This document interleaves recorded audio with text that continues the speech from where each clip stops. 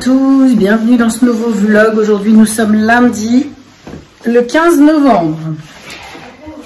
Nous sommes sur le départ, il est euh, presque 8h30. Ça va? Marceau il s'est fait mal, il a voulu, en attrapant son manteau, euh, il a pris un cintre. En fait il y a un cintre qui a bougé sur la tringle et il se l'est pris dans le... Ouais. Non, alors que j'avais ma peau coupée. Il y avait ta peau coupée.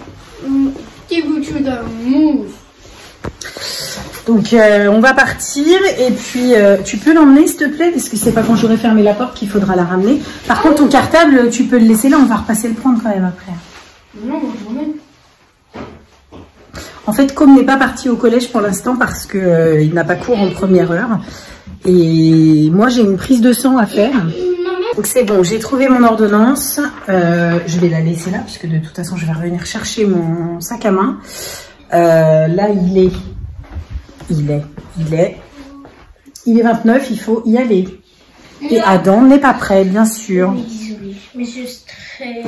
Mais arrête de stresser, il n'y a pas matière à stresser. Il faut que je rachète un manteau à Adam parce que en fait son super manteau euh, que j'ai payé euh, 9,99€ chez Orchestra, ben il est 9 euros bon, je crois qu'il a été 14 il me semble. Cache-cou, grand, manteau. Ouais. En fait, il est tombé, il a fait une grosse chute à l'école vendredi. Oui, Marceau. Ton cartable, non? Accessoirement. Et Il a fait une très grosse chute à l'école. Il s'est blessé au niveau de la hanche et de la main. Et euh, en fait, la maîtresse m'a appelé le matin en me disant que euh, il s'était fait mal, euh, enfin qu'il était tombé, mais que euh, c'était pas trop grave. Mais en fait, quand je l'ai récupéré le soir, alors elle m'avait quand même précisé que la plaie de la hanche était quand même plus moche, on va dire, que celle de la main. Et effectivement, quand j'ai vu le soir, qu'est-ce qu'il a fait? ben, il renverse toute l'eau partout, c'est normal. Ça fait juste trois fois qu'il fait tomber la gourde. Tu peux bloquer le bouchon? Bah oui, faut le bloquer. T'as pas mon Et donc, euh, quand j'ai regardé la plaie le soir, bah en fait, si, euh, c'était vraiment. Je me demande même s'il y a un endroit, il aurait pas dû avoir un petit Alors plan. avant, il y Mais bon, c'est pas grave. Du coup, on a désinfecté, ça cicatrise, mais il a encore mal. Et du coup, il angoisse à mort d'aller à sa classe de découverte déjà à cause de son bobo. Et aussi parce que, euh, bah, comme il sait pas comment ça va se passer, il sait pas euh, ce qu'il va faire, il sait pas. Et bah du coup, il est hyper angoissé, donc euh, mal de ventre. Enfin là, en gros, il a mal partout. Il est limite en train de pleurer. Mets ton col, dépêche-toi, on va y aller. Euh, alors que je sais très très bien que ça va très bien se passer. Je sais pertinemment que ça va bien se passer. Mais lui, il n'a pas envie. Voilà. Bon. Et ben je vous reprends, il est 9h20. On est devant le collège. Ça caille grave dans la voiture. Parce que oui, j'allume toujours pas le chauffage. Et euh, ben, on attend qu'il soit 9h40 pour que Com euh, puisse euh, aller, enfin, on va partir à 35. Mais... Donc euh, là, on est euh, oui, devant le collège. Com euh, est en train de sortir son carnet pour que je lui fasse un petit mot disant qu'il est arrivé plus tard parce qu'il n'avait pas cours. Là, je vais déposer Com et puis euh, je vais aller à la pharmacie. Je prends pas le risque d'y aller avant parce que souvent la pharmacie, on y reste trois plombes et du coup, ça m'énerve. Donc, euh, je vais aller voir si je peux pas avoir des quelque chose qui m'aide à dormir. Enfin, pas que... Je sais pas comment expliquer. Pas un truc qui va me shooter, hein, juste euh, quelque chose qui va peut-être m'aider à trouver le sommeil ou je sais pas. Je vais aller voir. Et puis de toute façon, il me faut de la crème hydratante pour Elsa. Donc ça, j'ai un peu peur parce que je pense que je vais y laisser un bras. Donc voilà. Bon bah je vais euh, m'occuper de son petit mot et puis après je vais le foutre dehors. J'ai demandé rien. Il ne reste plus que 10 minutes. Il faut se dépêcher. Ah bah j'ai encore un peu de temps là. Non, je, plaisante. Non, je vais lui remplir son petit mot puis euh, on va papoter tous les deux. Papoter. J'ai plus très envie. Il fait le gogol, hein, c'est pour ça que je dis ça. Papoter. Non, arrête. Bon, allez, c'est parti. Bon, je vous reprends, il est 10h. Je suis actuellement dans ma salle de bain. Je suis très contente, mon office de logement m'a rappelé. Ils vont m'envoyer un menuisier pour ma porte d'entrée.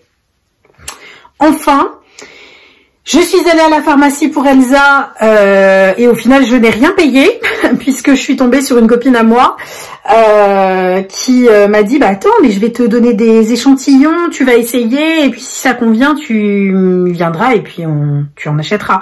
Donc bah super. Elle m'a donné deux échantillons alors il y en a un, je suis un petit peu déçue parce qu'en fait c'est celui que je voulais acheter. Elle l'avait que en huile lavante.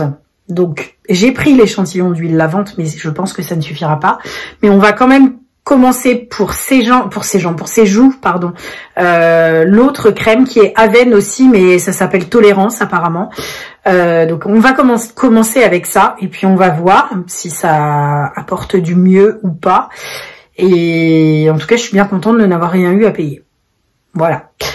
Donc ensuite, bah, il va falloir que je fasse de l'administratif aussi. Là, je m'en vais prendre un petit bain parce que déjà, je suis frigorifiée, que je dois me laver les cheveux donc, joindre l'utile à l'agréable. Et puis euh, aussi que, euh, en fait, ce matin, je devais me pencher un petit peu sur mon projet pro. Euh, je me lance dans une activité VDI, je vais vous en parler bientôt. Et justement, par rapport à cette activité, pour bien commencer, je regarde des vidéos en fait qui m'aident à mettre en place tout ça à avoir les bonnes démarches, les bonnes méthodes. Et ben, je vais regarder ça en même temps que je prends mon bain. Voilà. Comme ça, euh, je lirai euh, doublement l'utile à l'agréable. Voilà. Et en attendant, ça va me réchauffer parce que vraiment, je suis frigorifiée. Je n'en peux plus de rouler les fenêtres ouvertes. Oh, c'est une catastrophe. Ça devient de plus en plus difficile. Et euh, je me suis commandé, alors pas un chauffage non plus. Je pense pas que ça va réchauffer la voiture, mais ils appellent ça un désembueur. Donc ça se branche sur l'allume-cigare et c'est un tout petit chauffage en fait qui va projeter de l'air chaud sur le pare-brise pour éviter la buée euh, qui du coup ne m'obligera plus à ouvrir les fenêtres en roulant. Donc j'ai hâte de le, récupérer, de le recevoir. Euh, mais par contre, euh, ça sera pas avant, euh, je crois, le 29. Alors, il faut être patient. Je vais également modifier mes réservations pour l'anniversaire de Adam. Alors, je vais juste modifier ma réservation de, de bus, pardon, parce que en fait, je m'étais basée sur le week-end d'Eric. Enfin, c'est Eric qui va garder les enfants à ce moment-là. Et du coup, euh, bah, je m'étais dit, le, moins longtemps on part, mieux c'est pour lui, parce que du coup, ça bouffe sur son week-end. Et donc, euh, j'avais pris euh, une réservation pour qu'on parte, voilà, tard le... Bon, de toute façon, le vendredi, Adam, il a école. Donc, je vais être obligée de le récupérer un petit peu plus tôt, mais le reste de la journée, il aura son, sa classe comme d'habitude. Mais euh, ensuite, on, donc on va aller prendre le bus à Angers. Ensuite, on arrive à 21h45 à Paris. Euh, on sera directement à Paris-Bercy et du coup j'ai cherché en fait euh, un Airbnb à Paris-Bercy donc qui est juste à côté de la gare où on va arriver. Donc ça c'est parfait. Dès qu'on va arriver on ira directement au logement. On aura mangé des sandwichs dans le bus donc ça sera parfait aussi et euh, une fois qu'on arrivera euh, à l'hôtel, on n'arrive pas à l'hôtel, mais on arrive euh, voilà chez la personne. Bah, je pense qu'on tardera pas trop à aller se coucher. Et le lendemain matin, on a j'ai fait une réservation à 10 heures pour le muséum d'histoire naturelle. Donc je crois que c'est l'histoire de la grande évolution, enfin un truc comme ça s'appelle comme ça. c'est pas l'histoire, c'est la grande évolution. Mais c'est peut-être juste ça en fait, la grande évolution. Je sais plus. Ça va parler des, voilà, on va voir les grands squelettes de dinosaures et tout ça. Enfin bref, toutes les choses qui vont le, passionner, le fasciner. Donc euh, ensuite, on va aller manger l'après-midi. Alors le midi, du coup, quand on va aller manger, j'ai ma meilleure amie Béa qui va me rejoindre euh, sur Paris donc avec Adam, il y aura probablement sa fille avec elle, et euh, on va aller manger au resto ensemble. Ensuite, on va aller à la Tour Eiffel. Euh, donc moi, j'ai prévu de monter dans la Tour Eiffel avec Adam. Euh, on va se balader un petit peu au niveau du Trocadéro pour qu'il voit un petit peu ce que c'est. Et puis, on va aller à l'Arc de Triomphe euh, et euh, du coup remonter, enfin remonter ou redescendre, je sais plus trop dans quel sens c'est, sur les champs pour aller voir les décorations de Noël. Donc on va essayer de pas y aller trop tôt non plus parce que euh, bah, c'est vrai que on aimerait bien les voir de nuit, c'est un peu le but. Et puis on va voilà faire notre petit après-midi comme ça, balade. donc la Tour Eiffel, déjà, ça va nous prendre du temps parce que le temps qu'on aille jusqu'en haut, qu'on regarde, qu'on redescende, machin, qu'on se balade, ça va nous prendre du temps. Donc euh, en fin de journée, on ira, je pense qu'on restera jusqu'au goûter au Trocadéro. Après le goûter, on ira euh, se balader sur les Champs-Élysées. Euh, peut-être même qu'on s'arrêtera en terrasse, boire un chocolat chaud ou quelque chose. Moi, c'est le genre de truc que j'adore faire à Paris. Et le soir, on ira manger.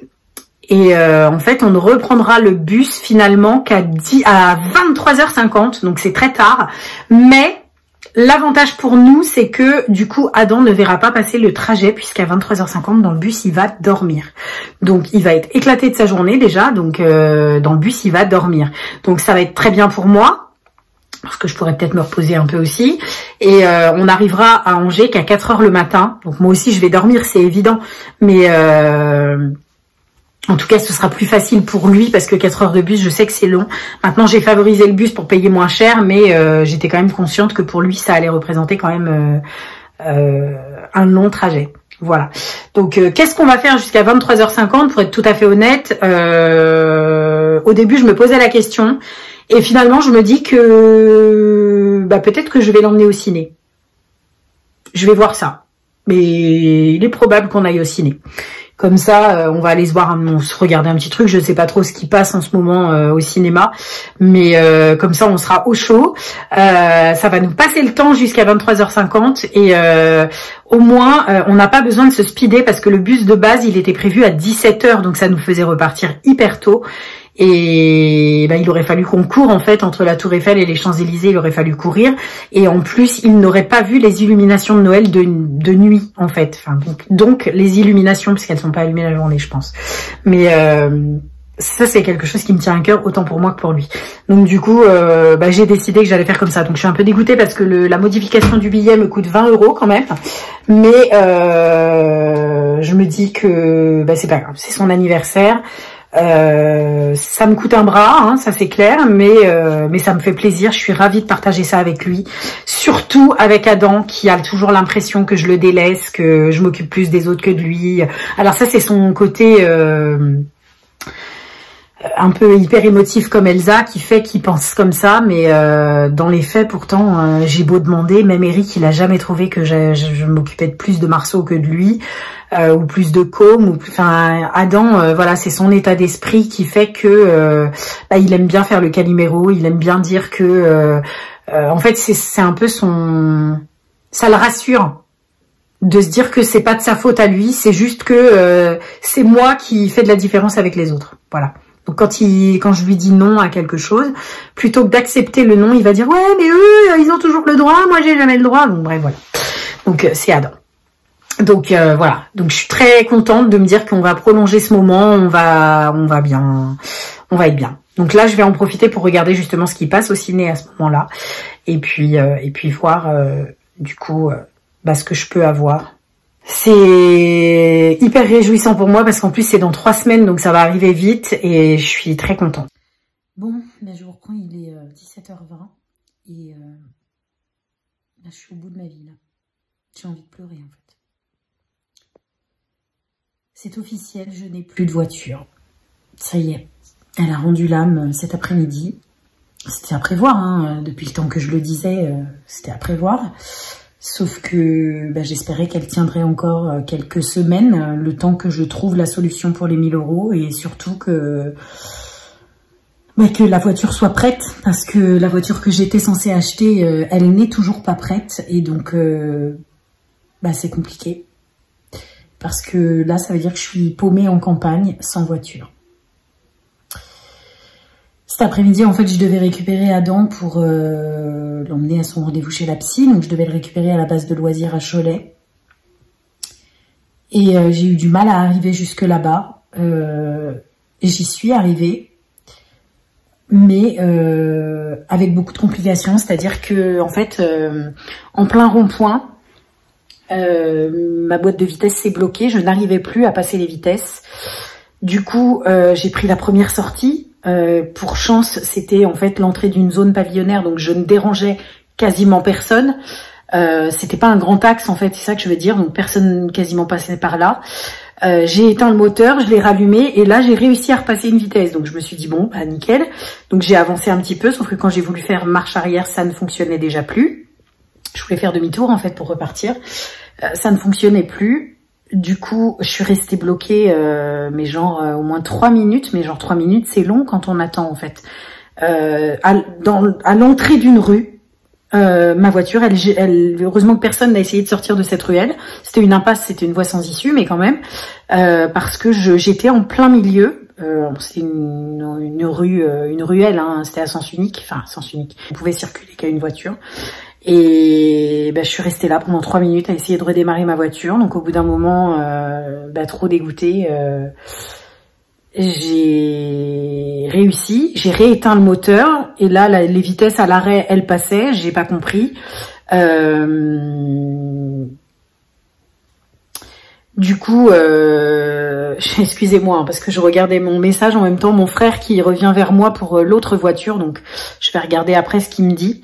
Mais euh j'ai réussi donc à repasser les vitesses à l'arrêt. Et je me suis dit bah oui mais ça veut dire que dès que je vais vouloir repasser les vitesses avec moteur allumé ça fonctionnera pas. Et en fait si ça a fonctionné. J'ai réussi à aller jusqu'à la base de loisirs. J'ai récupéré Adam et on a réussi à retourner euh, enfin retourner à aller jusqu'au CMP pour le rendez-vous psy d'Adam. Je me suis garée sur euh, un parking en fait à proximité. Et en fait bah quand on a voulu repartir euh, Moi, je laisse. En fait, mon frein à main, il est mort depuis longtemps. Enfin, le câble, il est détendu, donc euh, il sert plus à rien. Et donc, du coup, je passais systématiquement la première vitesse pour euh, bloquer les roues de la voiture, en fait. Et donc, euh, j'ai bloqué les roues. Et donc, quand je démarre, le premier réflexe, c'est d'embrayer pour que la voiture ne fasse pas de secousse à l'allumage. Donc, j'ai posé mon pied sur l'embrayage et là, ça fait. Mon pied, il est parti directement au fond. Euh, aucune résistance de la pédale, euh, voilà, ça s'est enfoncé comme dans du beurre. Et là, je me, je dis à Eric qui était avec moi du coup, puisque aujourd'hui c'était un rendez-vous bilan, donc Eric était présent au rendez-vous, euh, et on était en train de discuter en fait, et je lui dis, waouh, j'ai plus d'embrayage. Et là, il me dit, comment ça? Je dis, bah, regarde, appuie. Donc j'ai poussé mes jambes, il a mis son pied. Il me dit, ouais, je sais pas, je me rends pas compte. par rapport à la mienne, je dis, bah, on le sent quand même. et il me fait, ouais, je sais pas. Il me dit, bah vas-y, essaye de démarrer. Et là, en fait, j'ai essayé de démarrer et là, ça fait comme ça. Et, et impossible de retirer, mais avec des secousses en plus, puisque du coup, j'avais une vitesse d'enclencher, mais qui était coincée, que je ne pouvais pas retirer. La première vitesse, là, je peux pas l'enlever, en fait. Donc, je ne sais pas, le, mec qui va venir dépanner la voiture, je sais pas comment il va faire pour euh, l'emmener parce qu'en plus je ne peux pas appeler mon assurance étant donné que la voiture n'a pas de contrôle technique. L'assurance ne prendra pas en charge, donc euh, ben en fait euh, il faut que je contacte euh, quelqu'un qui récupère les voitures, un, un, garage de recyclage là, mais malheureusement ils seront ouverts que demain, donc ben, j'espère qu'ils pourront aller vite la chercher parce qu'elle est garée sur un stationnement bleu, donc c'est un peu moyen.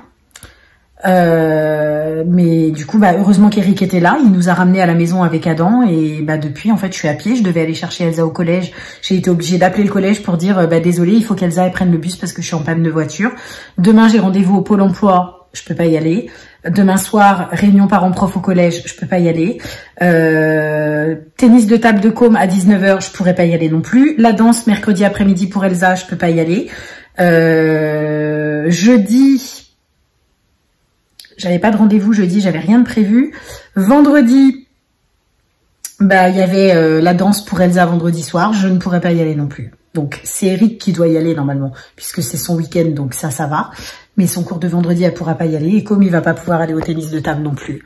Donc euh, honnêtement, je ne sais pas comment je vais faire là, parce que jusqu'ici, je me suis toujours dit, bon ok, j'ai plus de voiture, mais en fait, officiellement, j'avais encore ma voiture. Même si elle n'était pas en règle, euh, elle roulait et donc même quand j'ai eu besoin, vous voyez bien, puisque je la prenais encore aujourd'hui, j'arrivais à rouler avec, même si pendant un temps j'ai loué des voitures, je savais quand même que j'avais celle-là en secours. Mais là j'ai plus rien, en fait. J'habite à la campagne paumée et j'ai plus rien. Donc ça va être un peu euh, la loose en fait. Là je suis en grosse déprime parce que je pense à l'anniversaire d'Adam. Et je me dis comment on va faire pour aller à Angers? comment, enfin pour que ça coïncide avec les horaires euh, du bus qu'on est censé prendre là-bas? Comment on va faire pour rentrer à 4 heures du matin? Je n'ai pas encore modifié mon billet. Mais du coup, euh, bah ça craint un petit peu. Je me vois pas demander une nuit supplémentaire euh, au Airbnb parce que 60 euros la nuit, ça fait mal quand même. Donc, bah, je me dis, prendre un taxi ça va me coûter un bras aussi pour rentrer. Il y a 63 km, je crois, donc euh, entre Angers et chez moi. Donc euh, comment on va faire? Je sais pas.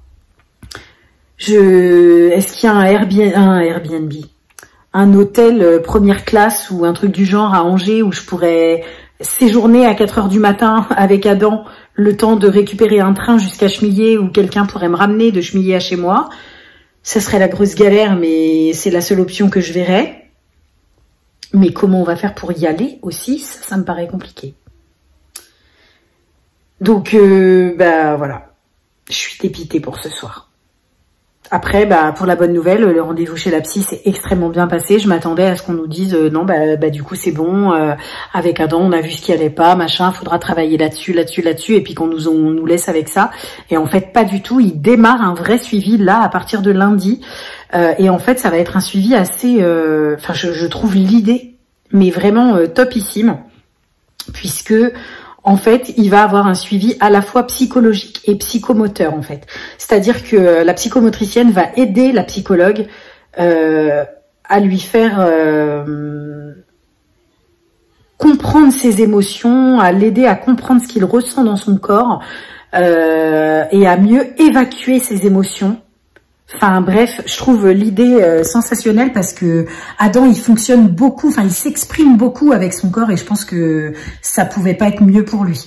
Donc euh, elle m'a dit là je vois bien qu'on a du mal à créer du lien. Elle dit à part euh, la semaine dernière, la dernière séance, il est venu, il avait des choses à me raconter. Elle me dit mais je pense que c'est vous qui l'aviez motivé à ça. Je lui dis oui effectivement c'est moi qui lui ai dit de vous parler de ces difficultés qu'il avait à aller en classe de découverte. Au final il est monté dans la voiture tout à l'heure, il m'a dit oh, je me suis trompée, hein, c'est trop génial en fait. Voilà, du grand Adam. Donc je suis contente que ça se passe très bien, mais euh, mais du coup si j'ai plus de voiture, bah la psy ça va être pareil, on va faire comment pour y aller quoi. Donc grosse galère. Enfin là, a priori lundi prochain, euh, ça pourrait être Eric qui l'emmènerait parce que en fait si je vais pouvoir, mais il va falloir que j'inscrive Marceau à tout va à la Péri pour euh, pouvoir gérer les rendez-vous par en bus en fait. Parce que si c'est à Cholet, ici on a les bus pour aller à Cholet, donc pourquoi pas. Mais euh, franchement, c'est la grosse galère, je suis dégoûtée. Bon, bah, là je vous reprends, il est 21h, j'ai emmené les petits au lit. Euh, et Elsa, ils ont la permission de 21h30. J'ai eu des nouvelles de mon frère par rapport à la Saxo.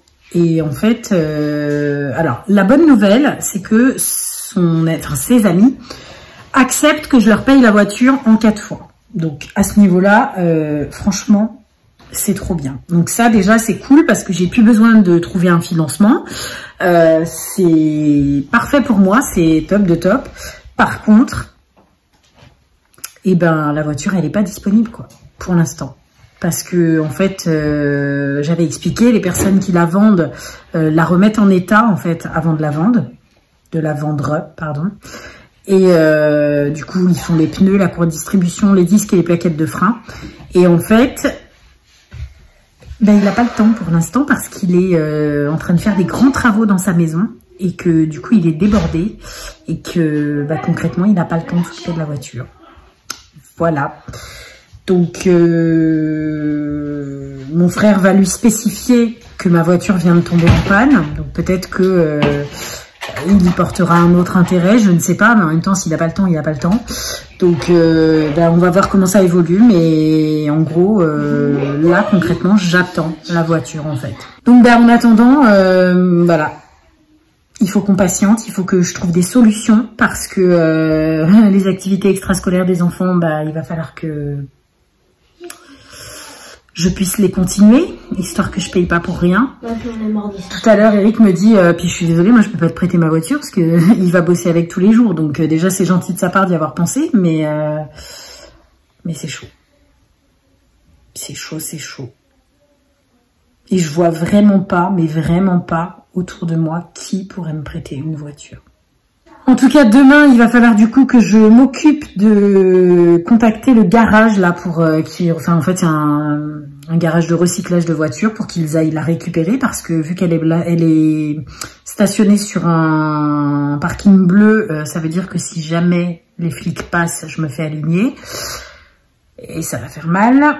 Donc, euh, bah, je vais chercher une solution. Voilà.